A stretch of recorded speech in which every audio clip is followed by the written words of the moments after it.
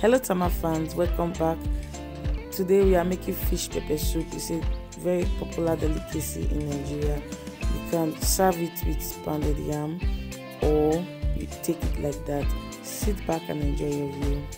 So we are using catfish. Wash it thoroughly well with lemon or with alum to remove the sliminess from it now i've boiled hot water not too hot not too cold boiled the fish and cover and keep aside. So here is my grinded pepper and onions. This is the size of onions i grinded with just one big pepper right? I don't want it to be too peppery. So here's the quantity of water i'm using. So now i'm pouring in the grinded onions and pepper into it. Then i'll allow it to cook for like two minutes. Thereafter i'm adding my salt to taste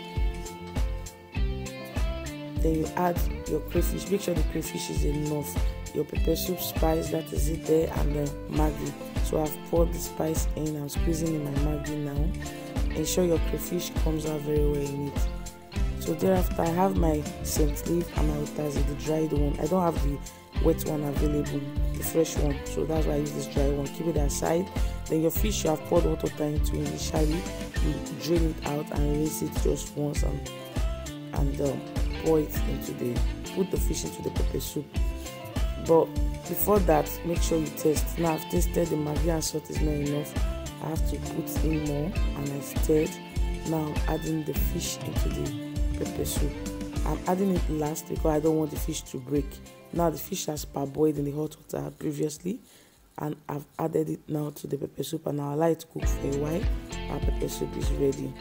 Thank you so much for viewing please like comment and share. Goodbye